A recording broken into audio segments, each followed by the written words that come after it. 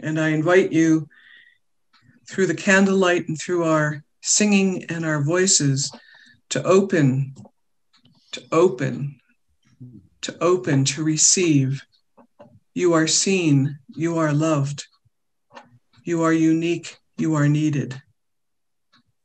As we open to receive it and we are full, it is pouring, pouring forth into the world through the spirit of the single eye. We see reality for what it is from the position of the mountaintop, from the apex of reality, in the spirit of attunement. We know. We know that it is a constant flow from above and into the world, and we bring it together into the reality of what is the manifest world the human experience of knowing that love is who I am, love is what I do.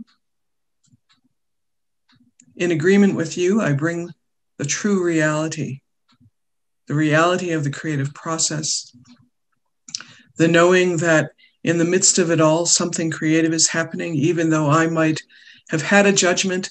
I let it go in the spirit of the new earth. I know Love's team always wins.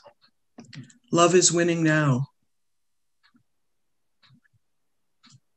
My heart is open to receive the blessing of breath, of the blessing of my heartbeat, the blessing of your presence, the blessing of the nourishment from this earth that gives so generously, so abundantly into sustaining our life enjoying our presence, and I release it through the experience of the reality of being a human being conscious that I know who I am. I know that I am love and love is what I do.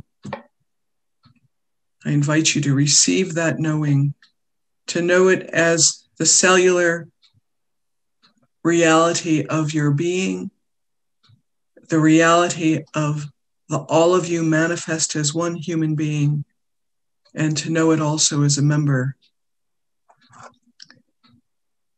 a member of this collective.